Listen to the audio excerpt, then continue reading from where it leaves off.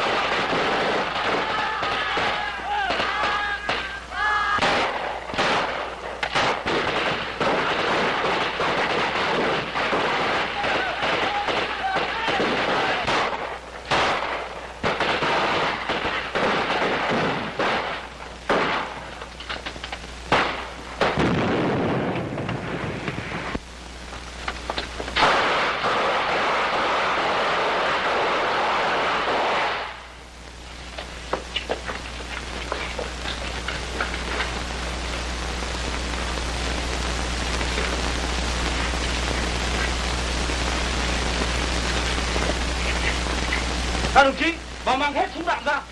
Nhanh lên.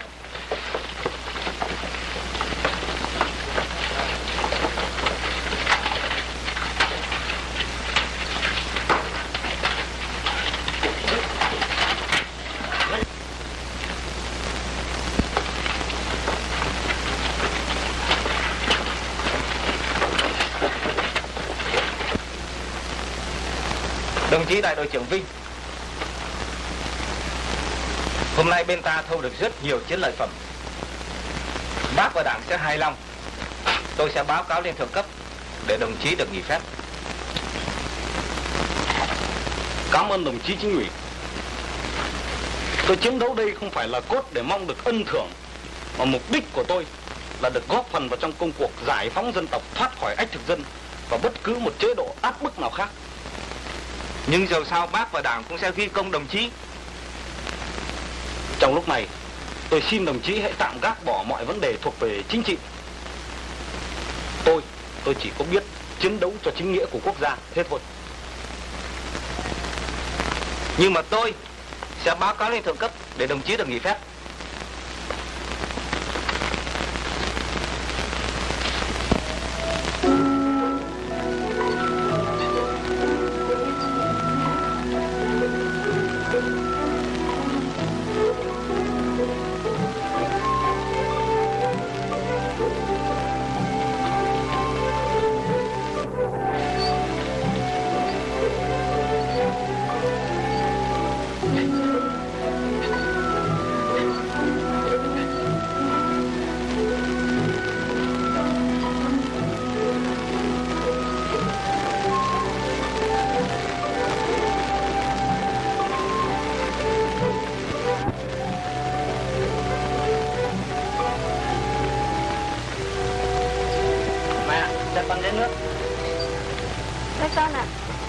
Để cho người ta làm được mấy ngày ở nhà thì nghỉ.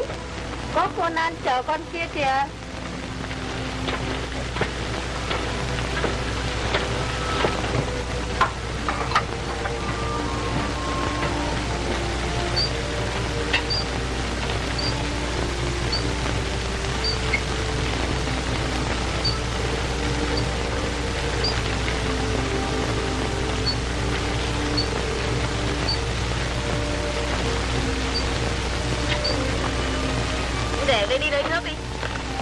Con trà cho tôi xin bác. Để tôi đi lấy.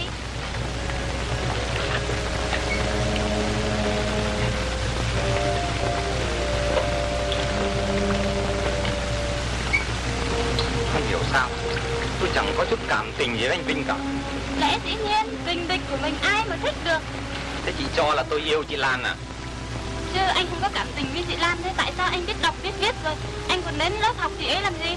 Chị hiểu lầm tôi rồi. Là một người công dân yêu nước Thì phải luôn luôn học tập để tiến bộ chứ. À ra thế đấy. Thế anh học để tiến bộ chứ không phải là để có dịp được gần cô giáo à. Tôi chắc có lẽ chính anh cũng hiểu tâm trạng của anh nữa. Thế là chị cũng yêu anh Vinh à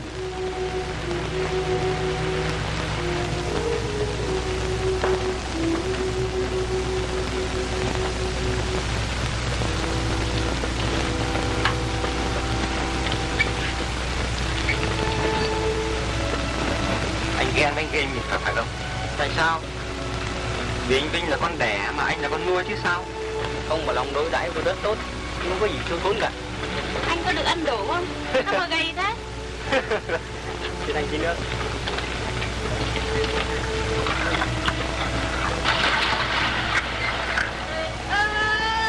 Dạ Anh cầm dùng tôi đi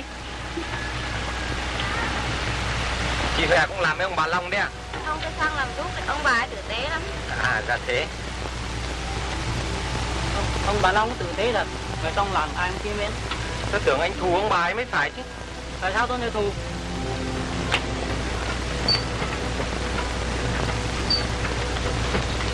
Bà giá mà không có chiến ờ, tranh thì mình đã có cháu rồi đấy. Thôi ông ạ, thời buổi này thì mặc kệ chúng nó. ừ, Bà có mặc kệ thế nào con mình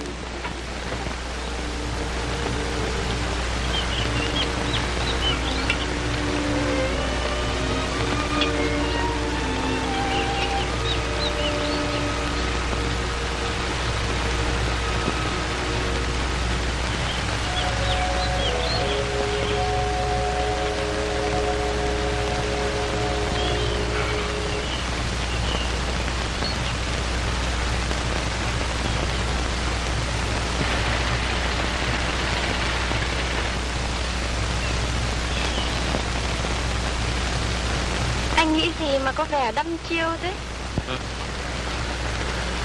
À anh đang suy tính đến một vấn đề hơi nan giải. Vấn đề gì thế anh? Anh đang tính làm sao có thể đem những hạt cát này kết lại thành một sợi dây thật chắc, thật bền để có thể buộc giữ mặt trời cái lại được. Để làm gì các anh? Vì anh muốn rằng ngày hôm nay sẽ không bao giờ hết nữa. Em hiểu rồi. Bốn ngày nghỉ phép của anh đã qua Và đêm nay anh lại phải ra đi. Rồi ngày mai, Tại sao lúc nào chúng ta cũng phải sắp đặt cho ngày mai, Cũng mơ ước đến ngày mai? Mà ngày mai có bao giờ đến đâu anh? Anh Vinh ạ. Trong 6 tháng qua anh, Lúc nào em cũng tưởng nhớ đến anh. Em lo sợ mỗi khi nghĩ rằng anh đang phải xông pha nguy hiểm trên các mặt trận. Hy vọng anh về được với em thật là mong manh quá. Nhưng mấy ngày gần đây, em lại cảm thấy đời em có hương vị đôi chút. Nhưng ngày mai. Em Lan ạ, phải xa em tối nay anh thật đau khổ lắm. Khổ nhất là lòng anh còn mang nặng hai mối tình tình yêu nước và yêu em Anh Vinh ạ, tuy em không được cái vinh dự chiến đấu như anh, nhưng em cũng đang tham gia công cuộc giáo dục nhân dân để tiến tới một đời sống mới mẻ, xứng đáng hơn. Trong làng ta đang chuẩn bị cải cách điền địa. Anh có nghe thấy ai nói phong trào hay không? có Lan ạ nhưng thực ra anh cũng chưa hiểu họ sẽ áp dụng nó ra sao cả Sao vậy anh? Anh không tin à? Anh không tin rằng cải cách điền địa có thể thực hiện được hay sao?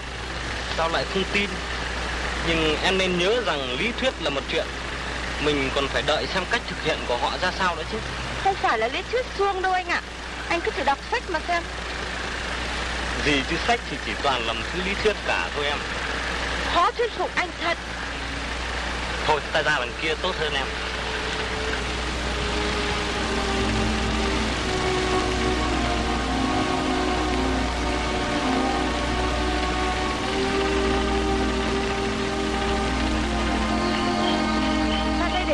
anh? thế em thử nhìn những ruộng lúa xanh tươi ở đằng kia thì biết. Những ruộng lúa có ăn nhập gì đến câu chuyện chúng ta đang nói đâu. không phải Lan ạ. Em chưa hiểu. Xong về vấn đề cải cách điền địa nó phức tạp lắm. Không phải rằng chỉ đem tiêu diệt một giai cấp là đủ đem lại hạnh phúc cho toàn dân. Anh cũng đồng ý với chính sách cải cách điền địa. Xong phải có nhân đạo một chút thì mới được. Thực tình thì em cũng chẳng hiểu rồi nó sẽ ra sao. Nhưng thế nào ta cũng phải tiến từng bước một. À thì cái đó nó là lẽ dĩ nhiên rồi. Nhưng em thử nghĩ mà xem.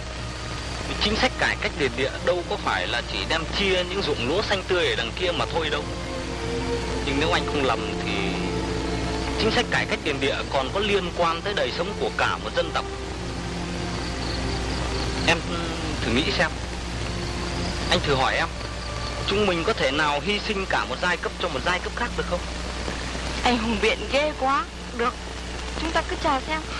Mà tại sao ta cứ phải lo quanh về vấn đề này mãi làm gì? Mà tại sao mình lại không tính những chuyện tương lai của chúng ta? Lan ạ, anh định rằng lần sau nếu được nghỉ phép thì anh sẽ cố xin dài hạn hơn. Anh đố Lan biết để làm gì đấy? Để được gần em năng hơn chứ gì. Gần đúng. Anh sẽ xin phép thầy mẹ anh cưới em về để em cùng chung sống với gia đình anh.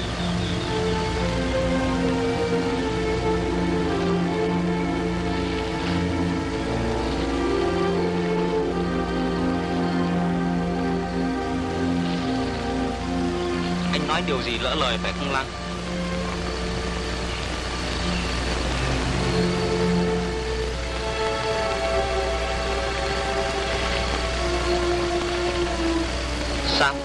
Có phải thế không?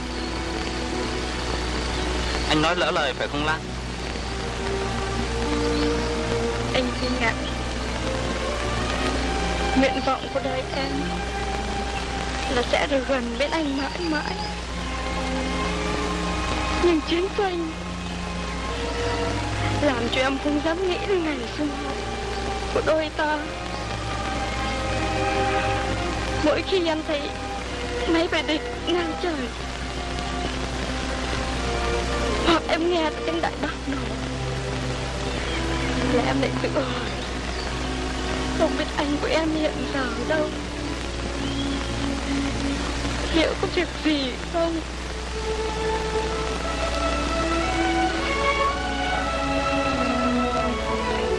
Thôi đừng buồn nữa, Lan ạ.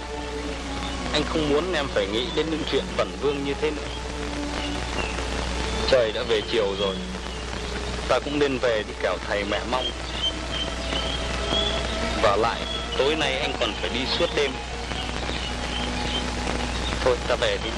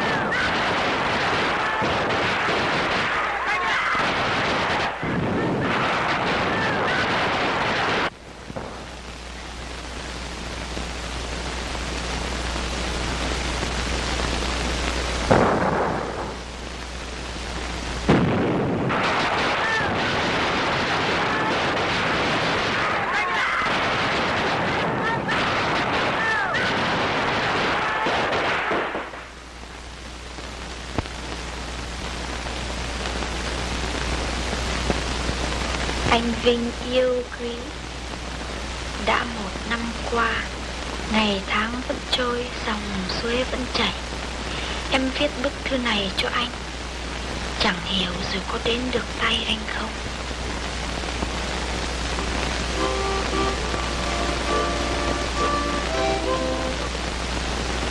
Nếu anh nhận được, Thì anh biết cho rằng em đang cầu nguyện ngày đêm Cho anh được trở về cùng gia đình và em Trong khi anh xông pha trên các mặt trận Với những chiến công rực rỡ, Thì đầu năm nay, lúc xuân đến, Chính sách phát động quần chúng nhân dân đấu tranh chống địa chủ Bắt đầu áp dụng Thật là một quốc kế dân sinh vĩ đại, bởi vì nhờ chính sách đó mà dân ta có thể thực hiện được công người cày có ruộng cày. Muốn thực hiện được điều ấy, giai cấp nông dân cần phải diệt trừ giai cấp địa chủ. Vì lẽ, quyền lợi của hai giai cấp ấy trái ngược nhau. Tuy thế, em tin tưởng rằng chính phủ sẽ phân minh sáng suốt, không chừng trị những hạt địa chủ như thầy mẹ ở nhà. Vì những người ấy đã tận tâm ủng hộ phong trào kháng chiến và không bóc lột nhân dân. Đồng chí đại đội trưởng. À đồng chí chính ủy. Chúng tôi nhận được lệnh của thượng cấp giải đồng chí về làng của đồng chí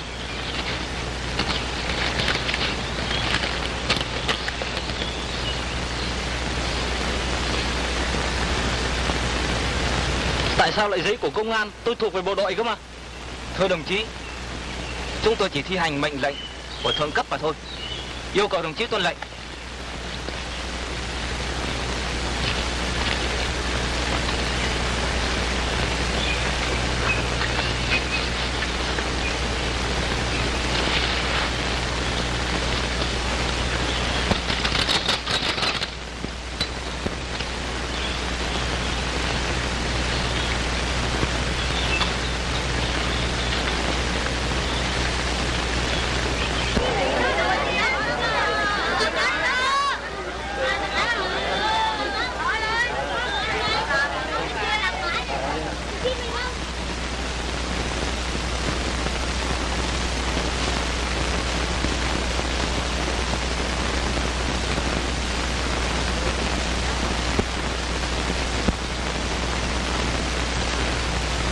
các đồng chí thưa toàn thể đồng bào công việc chúng ta làm ngày nay sẽ đánh dấu một bước tiến rất dài trong công cuộc cách mạng lớn lao của nước ta để tiến tới xã hội chủ nghĩa thưa các đồng chí, thưa toàn thể đồng bào,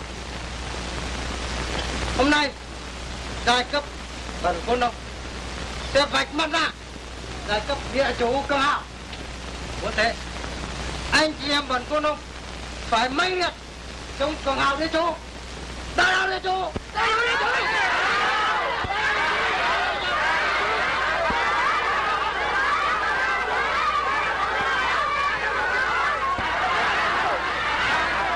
Đồng chí thuộc thành phần địa chủ hay sao mà không lại nào đa đạo đa đạo đạo đạo đạo đạo đạo địa chủ nhân dân đảng và chính phủ tôi tuyên bố khai mạc phiên tòa án nhân dân hôm nay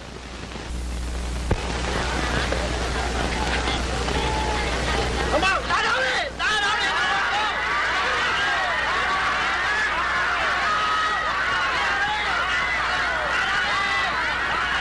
Đồng bào hãy bình tĩnh và đợi quyết nghị của tòa án nhân dân.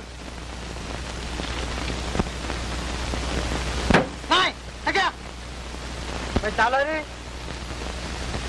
Tên mày là gì? Thưa đồng chí chủ Mày là đứa chủ. Ai cho phép mày gọi ta là đồng chí? Thằng địa chủ kia, nó to lên, ta không nghe gì cả. Thưa chủ tịch Tôi là Nguyễn Văn Long Đồng chí Lan, yêu cầu đồng chí hãy ghi chép tất cả những lời khai của tên kia. Cô Nan ơi Cứu chúng tôi với Mày bao nhiêu tuổi? Thưa tôi năm 56 tuổi Mày làm nghề gì? Thưa tôi là địa chủ Theo bản báo cáo của Ủy ban xã, Mày là một thằng địa chủ, giàu có khét tiếng ở vùng này. Mày đã có bao nhiêu ruộng đất rồi Mà mày vẫn còn tham lam? Vậy liệu mày có thể giải thích để cho nhân dân hiểu? Vì sao không? Thưa chủ tịch, Tôi giàu có đã mấy đời nay. Mấy đời rồi thì không phải rằng bây giờ mới có ruộng nương và tiền của. Hơn nữa là cha ông tôi để lại suốt đời làm ăn vất vả. Mới có sự nghiệp ngày nay. Mày bảo mày làm lụng cực nhọc, mới giàu có. Người ta hỏi mày Mày có khổ sở hơn những dân quê đã làm việc với mày không? thưa Thằng kia Mày phải trả lời cho rõ ràng chúng mày ủng hộ đồng đồng bào. Chúng mày bóc lục bằng có đồng. Toàn dân là đó chúng mày. Đá đâu?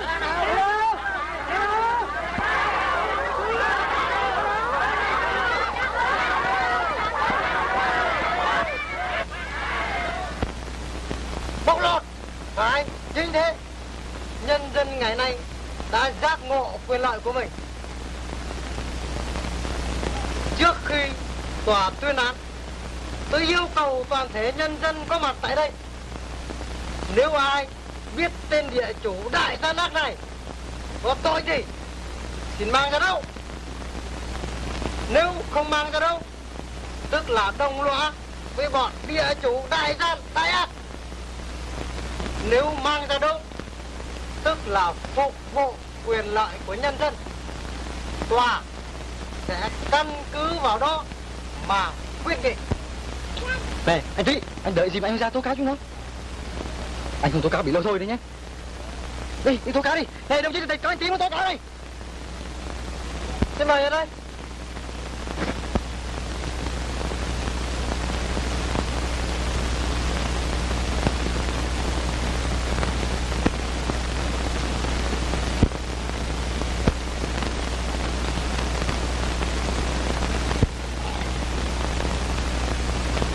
kia.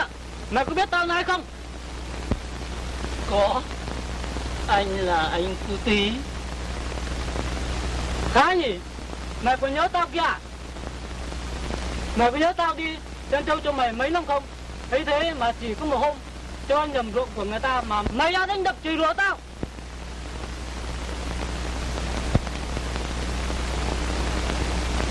Hỏi thằng địa chủ dân ác kia tôi nào có dám đánh đập anh. Anh nhớ anh hôm ấy để cho sâu ăn bệnh lúa là vì anh bỏ anh đi chơi với cô chiếc làng bên cạnh để cho tôi phải đền cho người ta mất bao nhiêu tiền. Mày nói ra nhóc của tao, mà mày của nó đem cả chuyện riêng của tao ra đây mà nói nhá đồ điều chủ năm điểm. Anh Tí ơi, anh Tí à.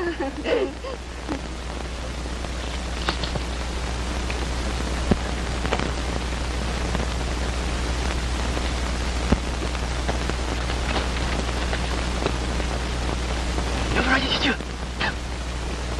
Đồng chí chủ tịch Thêm một người là muốn tố cáo được chủ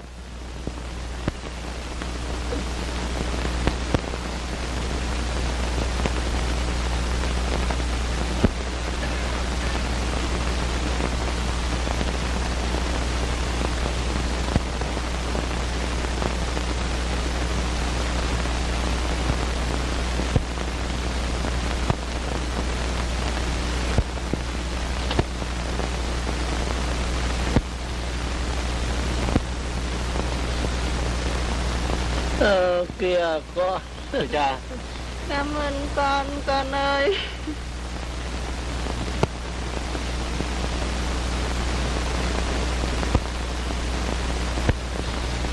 Ai cho phép mày gọi ta là con Tao chỉ là con nuôi của mày thôi Nhưng từ nay tao không nhận mày làm cha nữa. Tao đã dại dột Nhận một thằng địa chủ làm cha nuôi. Nay nhờ chính phủ và đảng Tao đã giác ngộ Tao xuất thân ở giai cấp bần nông Không bao giờ Tao lại liên hệ mày được. Con ơi Bấy lâu năm nay thầy ăn ở có điều gì? Tệ mấy con đâu Mà ngày nay con đã Mày đã khôn khéo Bắt tao làm con nuôi cho mày. Để khỏi phải trả lương. Mày đã thâm độc. Bắt tao làm công không cho mày. Bấy nhiêu năm trời. Sao con trẻ bạc thế con?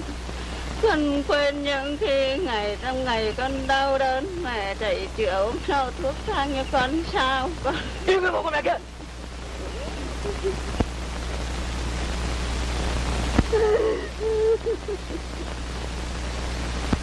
Mẹ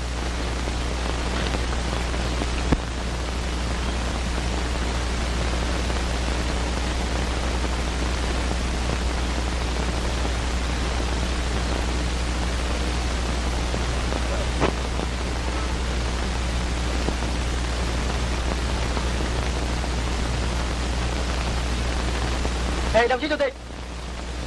Có một chiều hè muốn đấu tối đây ạ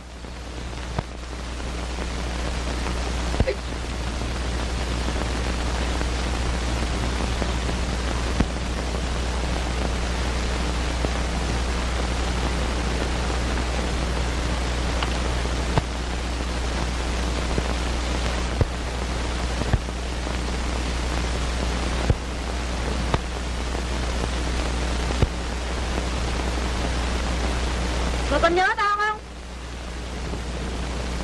Có Biết chị này chị Hoài chị ở bên cạnh nhà tôi. Tao tưởng giai cấp địa chủ chúng mày hay quên chứ. Mày có biết vì mày mà con tao chết không? Nó đã giết con tao nó còn giả vờ là không biết. Để tao nhắc lại cho mày nghe. Cách đây 10 năm Tao, con tao ốm tao thì nghèo. Tao tìm đến mày để hỏi vay tiền mua thuốc. Mày ác tâm không cho tao vay. Để đến nỗi con tao phải chết vì con chỉ chết năm mấy. Là đang lúc trong nàng bị bệnh dịch đậu mùa. Chính tôi cũng có một thằng con chết trong năm ấy. Chị vay tiền tôi. Đang lúc tôi lo lắng bệnh, bệnh tình con thôi Tôi không Tôi nói gấp chồng với chị. Chị dần chị bỏ chị ra về là tôi có từ chối nó không cho chị vay đâu. Nó đã giết con tôi mà nó còn già mồm. Nhưng nhân rồi. Mang ngươi phải đây là mang ngươi Sao chị nỡ hờ tề với tôi thế. Sao chị nỡ tề với tôi thế. Bà tha thứ cho con.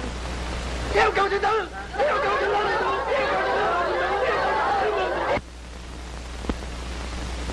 Thưa đồng chí chủ tịch.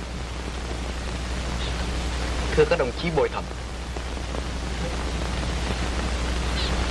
Thưa toàn thể nhân dân.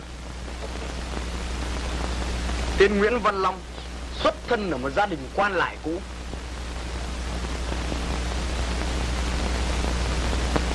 Cha mẹ nó đã hút máu mủ của bần quân ông Đã mấy đời. Nhờ vậy Từ thuở nhỏ Nó đã được theo học ở trường tỉnh Và đồng thời Học những mánh khóe, gian ác, lưu manh của bọn thực dân.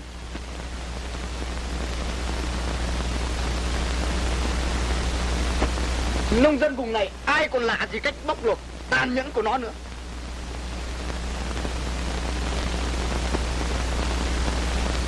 Khi phong trào kháng chiến nổi dậy. Nó đã khôn khéo, Mang thóc lúa ra ủng hộ phong trào. Anh chị em Có biết nó làm thế để làm gì không? Không phải là nó yêu nước, Mà nó hỏng che đậy tội lỗi. Oan tôi quá. Tôi thành thật ủng hộ chính phủ kháng chiến. Những người làm việc với tôi đều được tôi trả lương nhiều hơn người khác. Câm cái mồm! Mày ra đây để nhân dân xử tội. Có hỏi mày mới được nói.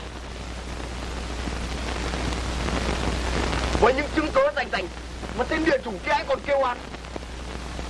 Tôi xin hỏi, Nếu nó bảo rằng oan, Thì ra tất cả nhân dân đây đều nói vu cho nó hay sao? Như vậy đủ tỏ ra dân nó là một thằng ngoan cổ Dám cho nhân dân là lâm lên Nói vu Ra đâu? I'm gonna do! it.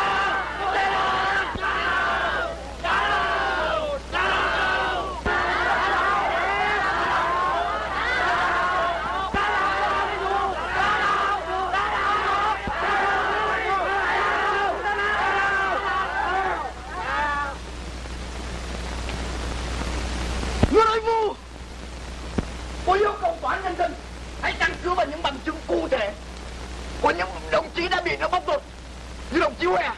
đồng chí Đồng chí Cu Tý Đồng chí con nuôi của bị cáo. Tôi yêu cầu tòa án nhân dân hãy xử thật năng vào trong cái địa chủ này Để làm gương cho những kẻ khác.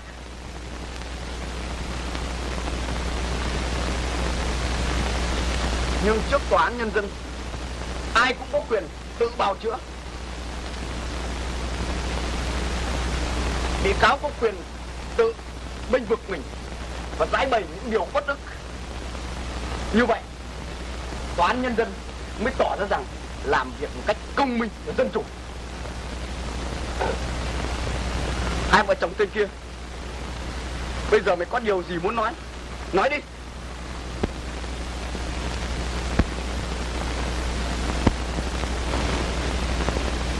Bị cáo đã nhận hết tội lỗi và yêu cầu toàn thể nhân dân bất đồng nghị án.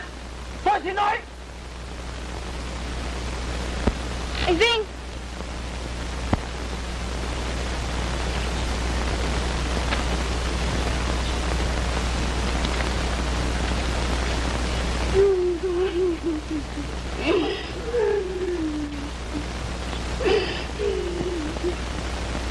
Xin nói.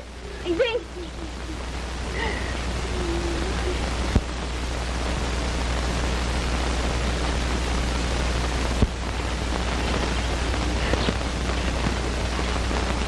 Phải Đại đội trưởng Vinh đây. Con của Nguyễn Văn Long.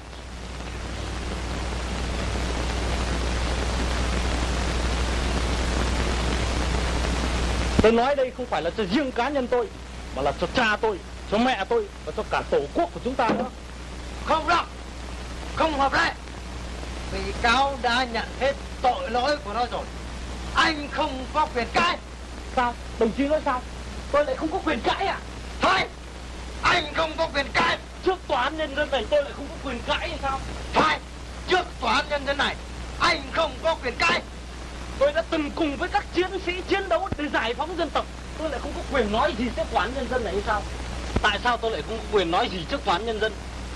Một người con không có quyền bào chữa cho cha mẹ hay sao? Tôi thừa biết rằng các đồng chí đã buộc tội cha mẹ tôi trước khi lập nên toán nhân dân này Yêu cầu các đồng chí nghe tôi nói Các đồng chí có thể nào tin được ở những lời tố cáo Của những kẻ chỉ vì bị đánh đập đe dọa mà phải dây tố cáo không? Lôi lên ra ngoài Tại sao? Tại sao các đồng chí không dám để tôi nói à? Các đồng chí sợ à? Các đồng chí sợ rằng sự thật sẽ lột trần mặt nạ của các đồng chí ra ở đây sao? Cho phép đi nói. Nhưng anh phải nhớ Nếu anh không dẫn chứng được đầy đủ Để bào chữa cho cha mẹ anh Anh sẽ bị trừng phạt Nặng nề hơn cha mẹ anh. Nào những ai đã từng cầm súng chiến đấu cho độc lập và tự do của Tổ quốc Hãy cùng tôi mạnh dạn bước ra khỏi hàng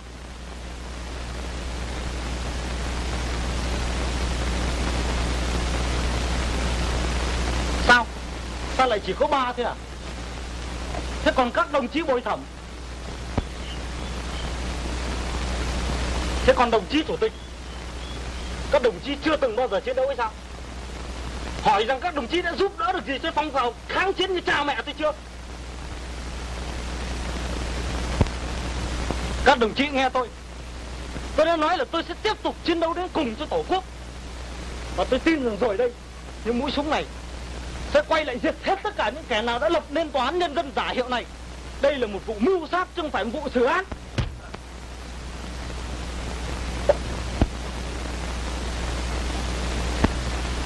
Nhân dân đã lên án tử hình bị cáo về tòa y án để làm gương kẻ khác Đồng ý. đồng ý Xin các đồng chí nên thận trọng về việc này. Các đồng chí đừng quên rằng ông và Long đã ủng hộ kháng chiến rất nhiều. Thử hỏi trong làng ta, ai là người đã triệt để ủng hộ như thế chưa? Các đồng chí thì nghĩ xem, trong mấy năm nay, Ai là người đã tích cực ủng hộ du kích xã Những năm đói kéo Ai là người đã mang hết tóc gạo của mình ra Để tiếp tế đồng bào nghệ tĩnh Nhưng họ là địa chủ Và là kẻ thù của chúng ta Nhưng người địa chủ này đã giác ngộ Tôi xin nói Ông Bà Long là người ái quốc. Hơn nữa con ông Bà Long là đại đội trưởng Là một anh hùng dân tộc. Không một ai còn lạ với những chiến công oanh liệt của đồng chí Vinh. Những chiến thắng cao Bắc Lạ Núi Voi, Đông Khê. Gia đình ông bà Long và người con trai Đã hy sinh tất cả cho kháng chiến. Tôi yêu cầu các đồng chí đừng quên những điểm Chị Lan. Lý luận của đồng chí dựa trên tình cảm cá nhân nhiều quá. Lý luận chỉ có thể đứng vững được nếu dựa trên lập trường của đảng. Đồng chí cũng nên nhớ rằng Chí anh dũng lòng hy sinh, Không bao giờ có thể có được Trong giai cấp thối nát của bọn cường hào địa chủ. Đồng chí Lan nên hiểu những mưu mô thâm độc của bọn địa chủ. Chúng ủng hộ kháng chiến Chẳng qua là chúng hiểu rộng lo xa. Chúng đem tiền bạc thóc gạo ra Để úp giúp kháng chiến. Nhằm một mục đích là mua chuộc lòng nhân dân như thời trước. Nhưng chúng đã làm to. Nhân dân ngày nay đã giác ngộ Và quyết tâm đem bọn chúng ra xử tội. Xét đoán của nhân dân không bao giờ sai lầm cả. Chính đồng chí đã nói rằng đảng lãnh đạo mà nhân dân chỉ là đàn kiều về quyết định của nhân dân đâu đâu nhân dân này làm giáo dục nên là giác ngộ này quyết tâm đem bọn chúng ra trừng trị. Quyết định của nhân dân là quyết định của đảng. Đồng chí Viện, đồng chí Lan Đồng chí nên nhớ rằng ý kiến của đồng chí chủ tịch không phải là ý kiến cá nhân mà là ý kiến của đảng. Và đảng thì không bao giờ sai lầm cả. Tôi xin giải thích về trường hợp đại đội trưởng Vinh. Những chiến công oanh liệt của hắn đều do sức hôn đúc trí quật cường của cả dân tộc. Những chiến sĩ dưới quyền hắn chỉ huy đều là những con yêu của tổ quốc. Tôi tự hỏi, nếu không có những chiến sĩ ấy, liệu một mình vinh có làm gì được không? Giờ đây là giai đoạn tranh đấu của giai cấp bị áp bức. Các đồng chí phải gạt bỏ mọi tình cảm cá nhân. Đem hết tâm trí mà phục vụ đạo đó là phương pháp duy nhất để phục vụ nhân dân. Chúng ta phải cương quyết diệt trừ tất cả những kẻ nào chống lại chúng ta. Vì là đó, tòa tuyên án tới vợ chồng tin địa chủ phá động vợ chồng cái địa cháu tòa đã tuyên án sơ thơ bản án sẽ thi hành. Một lần cuối cùng, vợ chồng anh muốn yêu cầu điều gì? Tôi muốn cưới trói.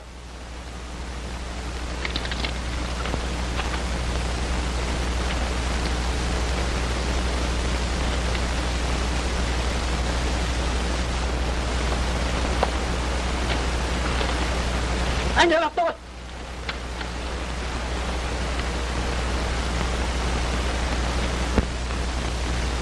Thôi bà, đằng nào một lần chết. Dù mình có chết, oan chăng nữa thì cũng cứ vui vẻ đi để cho con cháu mình nó được cái hãnh diện là cha mẹ nó chết cho tự do của tổ quốc.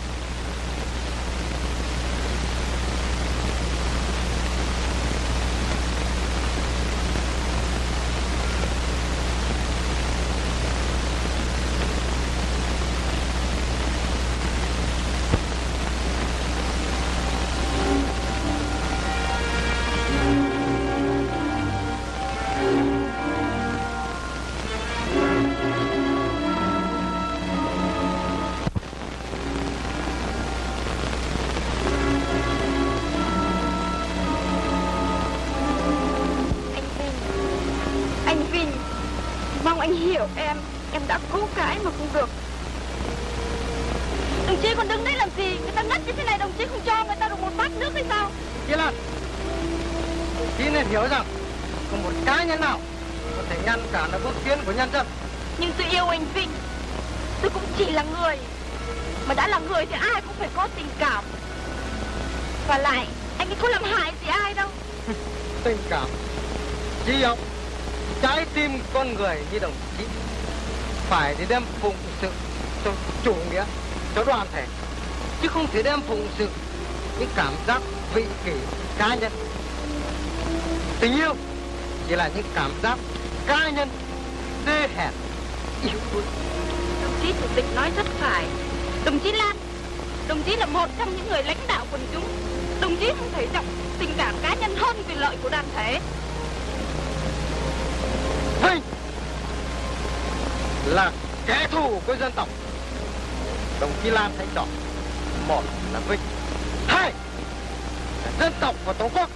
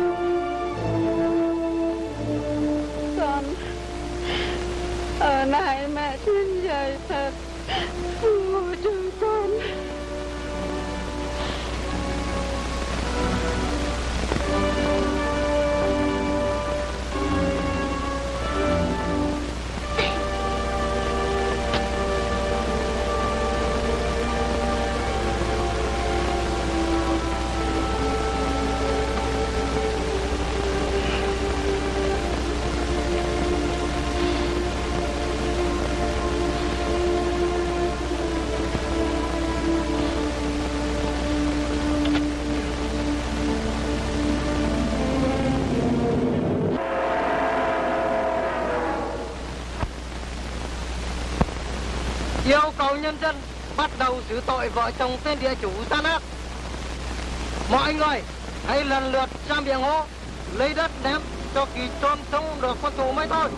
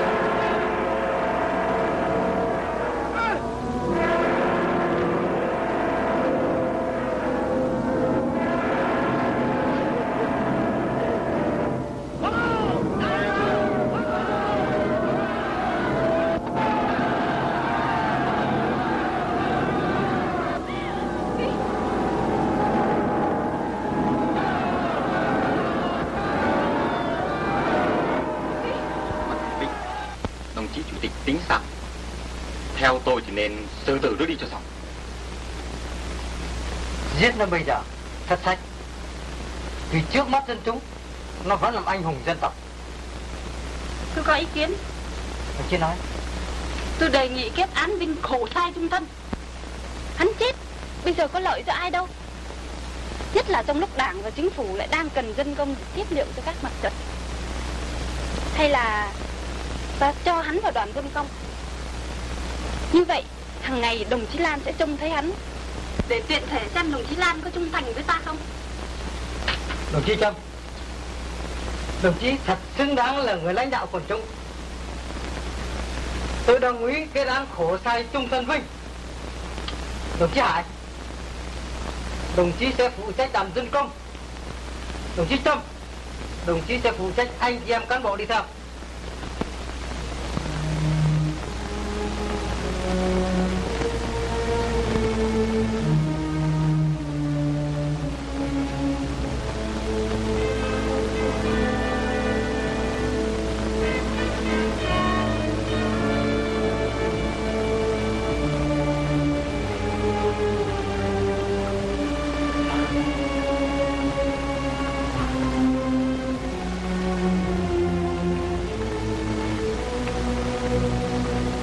Tiếp liệu cho chiến sĩ ngoài mặt trận. Các cán bộ đi trước cùng với nhân dân với viện binh. Đồng chí Chủ tịch, muốn có thêm sức mạnh, tôi có ý kiến là chúng ta sẽ lấy phạm nhân đi theo với đại đoàn dân công. Và chúng ta sẽ chia ra cứ từng nhóm ba phạm nhân. Nếu một trong số ba đứa mà trốn, thì hai đứa kia phải chịu trách nhiệm. Và cứ ba nhóm sẽ liên đới trách nhiệm với nhau. Và như vậy thì nghĩa là nó sẽ canh chừng lẫn nhau.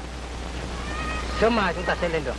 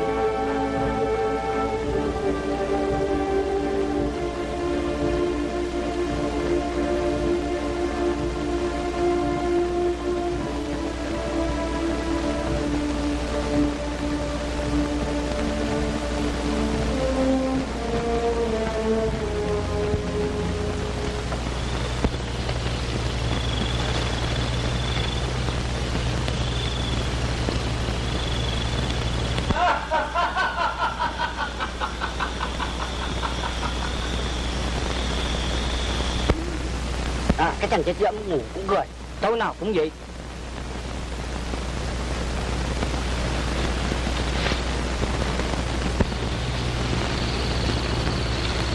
Ngủ thì mới cười được chứ. Tỉnh thì cười làm sao được?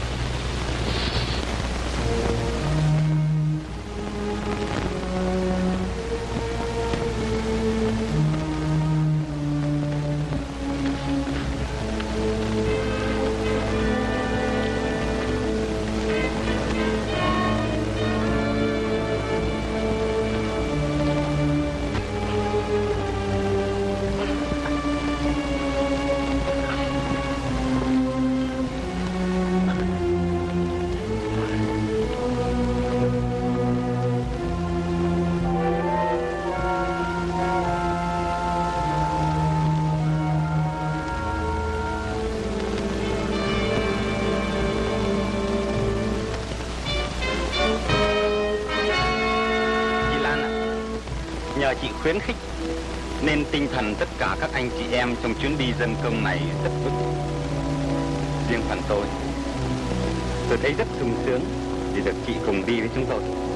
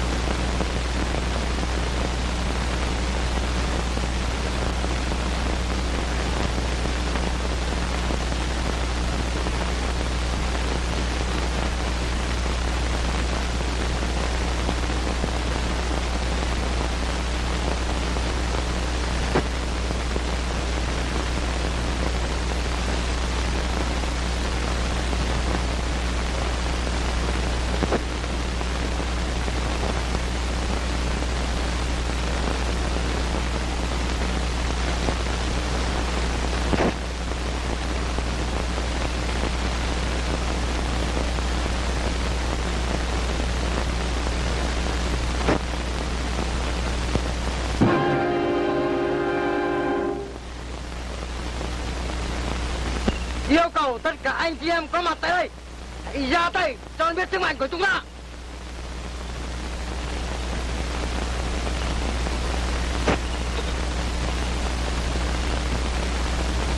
Đồng chí Lan, đến đây trước.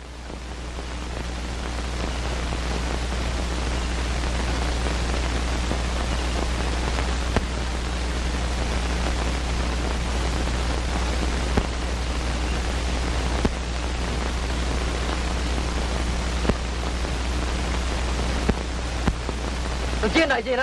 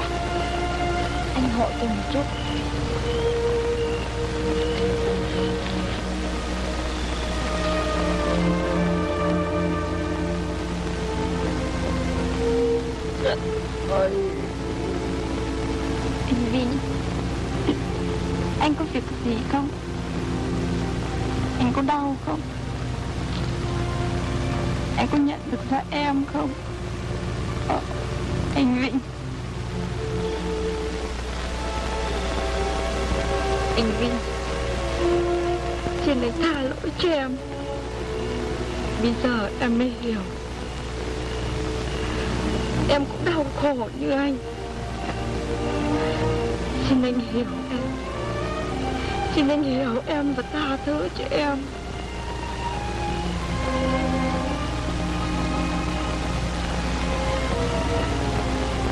Cô đã đang tâm giết chết bố mẹ tôi Mà bây giờ cô còn vợ thường với sót Thôi cô nên đi đi thì hơn. Tôi không muốn nhìn mặt cô nữa. Thôi cô mặc kệ tôi Mặc kệ tôi!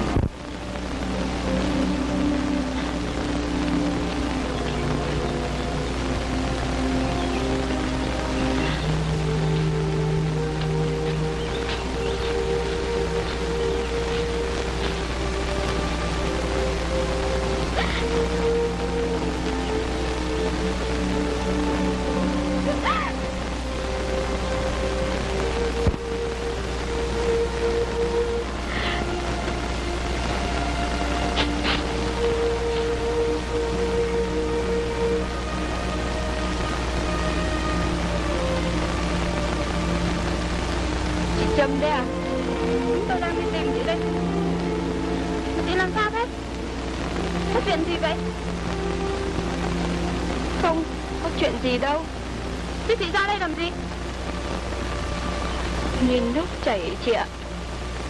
Nhìn nước chảy không phải đang nghĩ đến ai hả? Chị nói gì? Tôi đừng vờ nữa. Nếu mà tôi còn nghĩ đến con người ấy, Thì tôi chỉ còn có căm hờn thôi Chứ không phải chị yêu anh ấy à? Chị quên rằng tôi là một cán bộ à? Chị quên rằng tình yêu Chỉ là một cảm giác yếu đuối và đê hèn thôi à? Chị bảo chị là một cán bộ của nhân dân à? Tôi cũng đồng ý là chị đang cố gắng để xứng đáng với danh từ ấy. Nhưng lúc xử tội cha mẹ Vinh Tôi đã quan sát chị kỹ lắm. Chị không bao giờ trở thành một cán bộ được Không bao giờ Không bao giờ Sao vậy Tôi đã làm bất cứ một việc gì để nâng cao tinh thần đoàn dân công Tôi đã hy sinh tận tụy trong công tác Thế mà chị bảo tôi không thể nào trở thành một cán bộ thực sự à Tại sao thế? Chị có thể vì đảng mà yêu bất cứ ai không lựa chọn, không nghĩ đến tình cảm cá nhân như một cán bộ thực sự chưa? Chị có thể thành thực trả lời câu hỏi của tôi không? Hay là chị chỉ dành tình yêu cho một người mà người ấy là là nô lệ kẻ thù của chúng ta? Thế mà chị cũng dám cho chị là cán bộ à?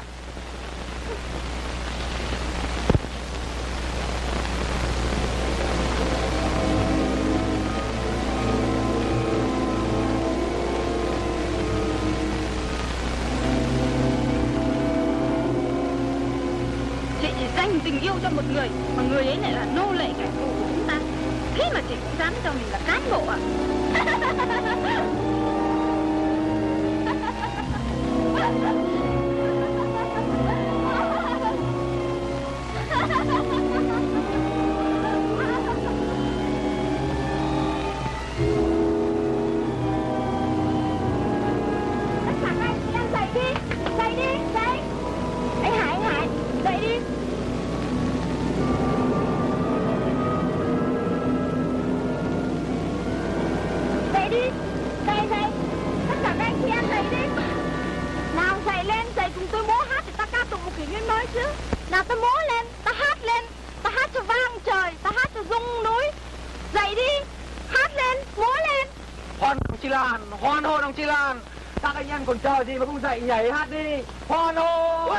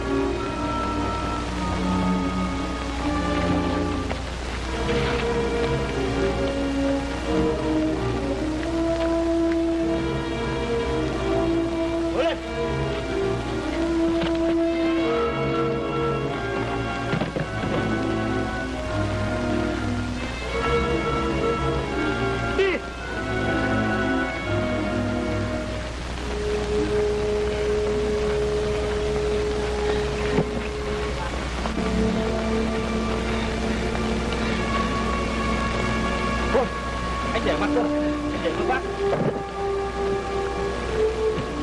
Thôi thôi thôi, cứ để lên cho bác này.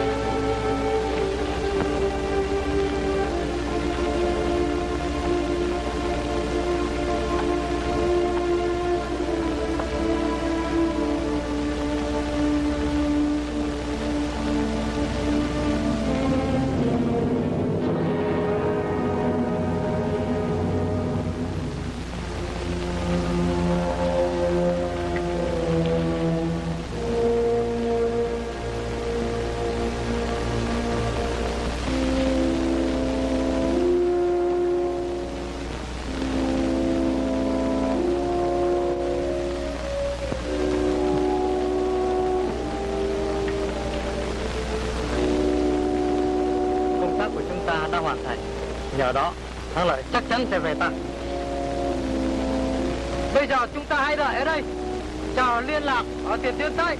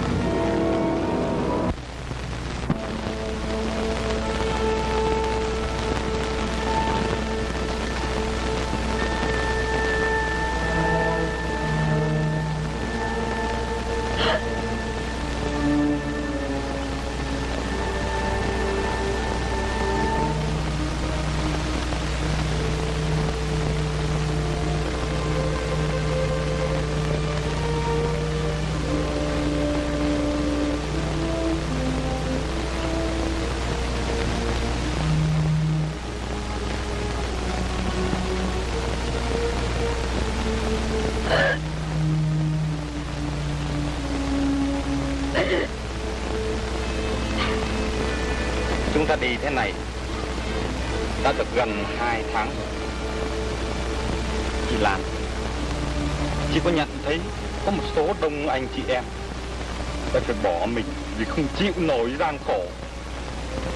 Vừa đói, vừa khát, vừa mỗi rừng đỉa đói. Như thế, mấy ai mà chịu nổi. Ta thán đấy anh Hải có ta thán gì đâu. Xin lỗi chị, nếu tôi đã làm chị hiểu lầm. Lan ạ, suốt đời tôi chỉ có một hy vọng là một ngày kia sẽ được cưới Lan về làm vợ. Tôi biết rằng đứa con trong bụng Lan là con của chúng ta. Khi chúng ta trở về làng, tôi mong rằng sẽ được cùng Lan sum họp.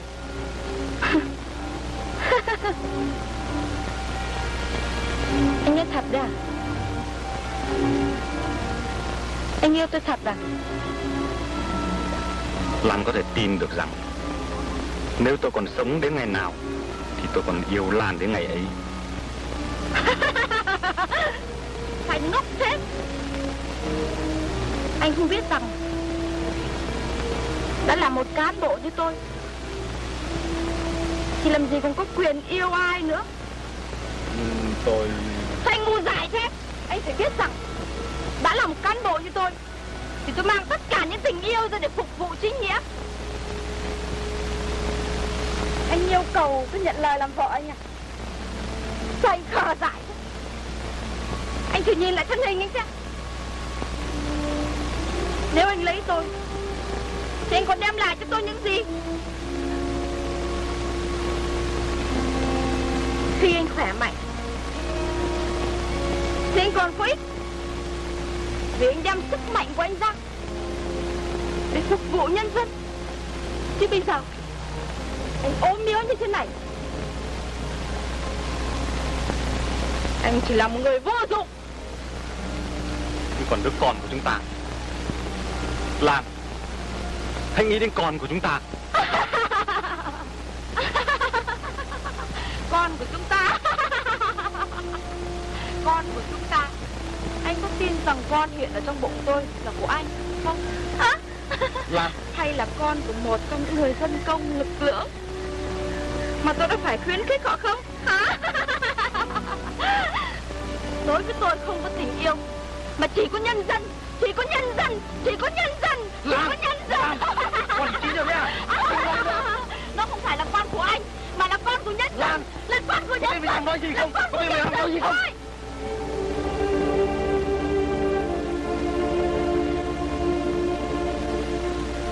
Quân vũ phu Rồi sẽ biết Nhân nhân xử tội đừng có trách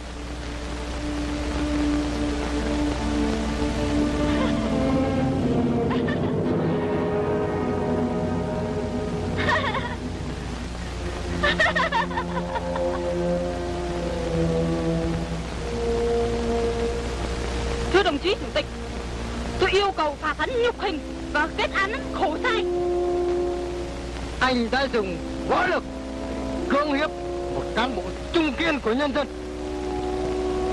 Hôm nọ anh có nói với tôi một câu rằng để rồi ngày kia tỉnh ra thì đã muộn. Bây giờ tôi mới hiểu. theo quyết định của nhân dân anh sẽ bị ném ra. Và bị kết án khổ sai. Anh còn điều gì để tự bảo chữa nữa không?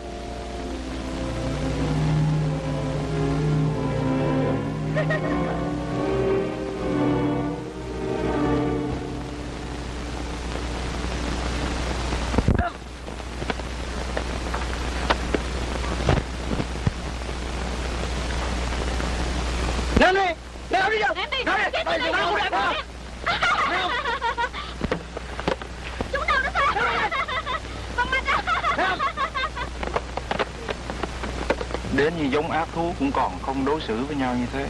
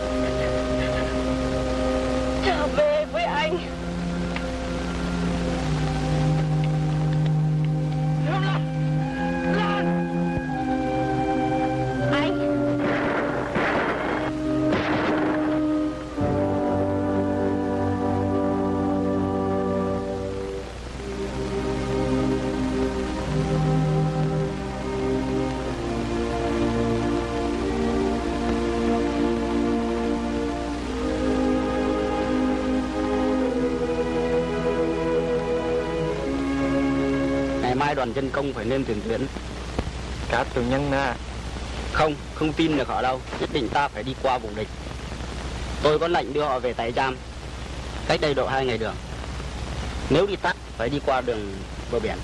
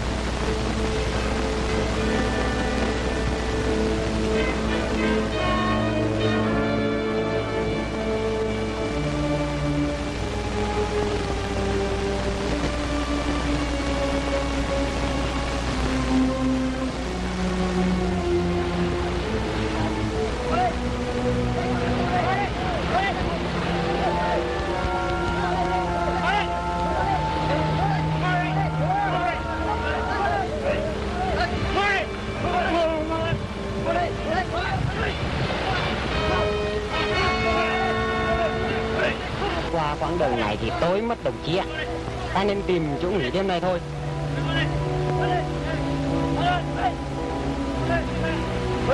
Đây gần bể quá. Nếu muốn xa bể, ít nhất phải đi chừng chục cây số nữa. Tôi biết quãng này có cái nhà bỏ trống. Hay ta tống bọn tù binh vào đó, rồi là gác bên ngoài. Cần nhất gác kỹ là được.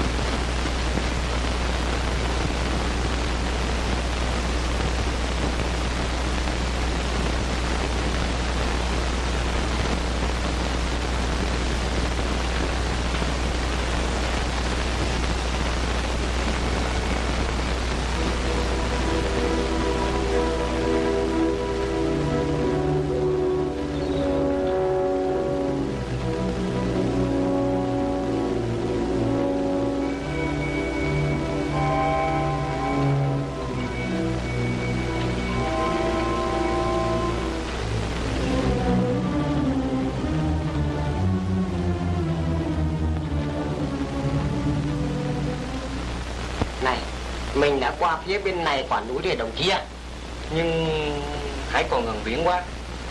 Không sao. Vì anh em gác cả bên ngoài rồi.